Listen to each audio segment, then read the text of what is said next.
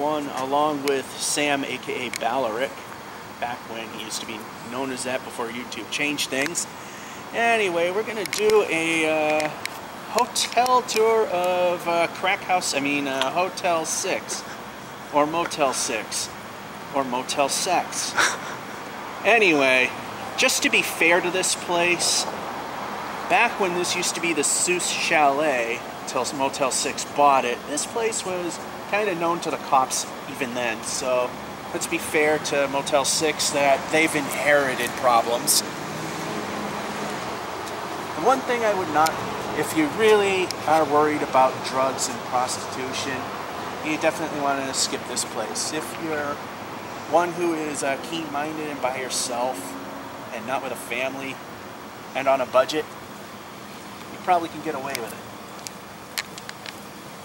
Anyway, this this is, place has two buildings.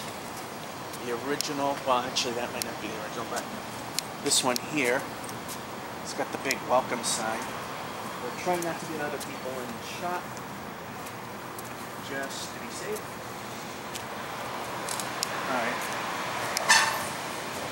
That's the se second building. Yeah, there, as you can see, there's handicap spots. However, I do not think there are elevators in this building, so if you're handicapped, you are relegated to the bottom level. Uh, over here, we got our standard. Uh, well, they combined everything here. We got your beverage machines here. La laundry right here, washers and dryers here. Standard washers and dryers there, or washers and dryers, and then the stand-up one. And uh, by the way, I've used this particular model in Disney World. They look pathetic, but they do a very good job, actually. And the ice machine that does not work, but, but we got another one right here anyway.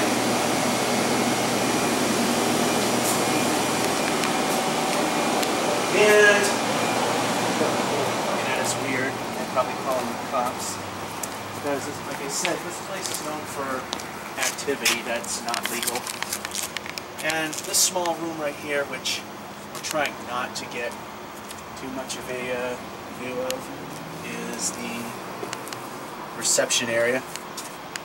The desk is right there. We're not, I'm not going to try and get a good view of the desk.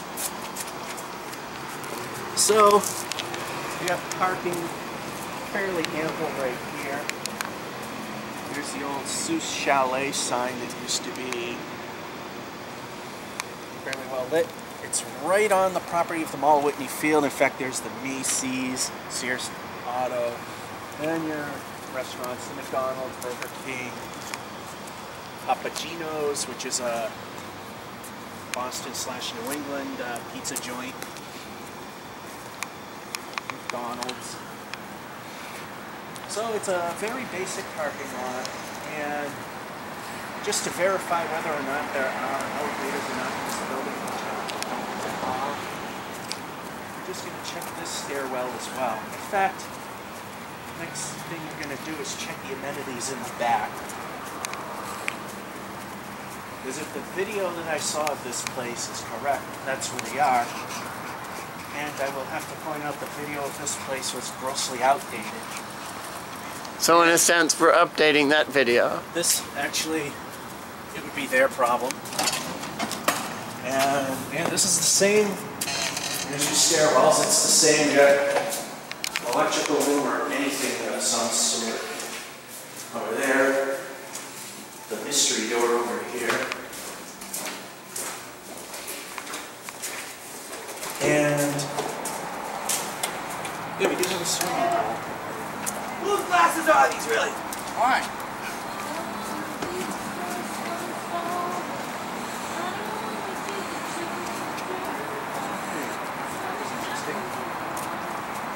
Yes, it was.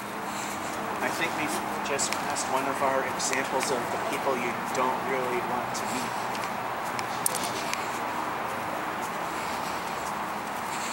There are homeless families that live here too, if I remember correctly. Now, because it is pretty much November, school is closed. And Does the pool work when it's open? I wouldn't know. If, I think it does because they had. Uh, yeah, it's basic pool. Not much more you really need. So again, this is the other stairwell from this building. No elevators. And we're gonna go and check out his room. Alright, before we actually do, did you stop the... Oh, you didn't stop.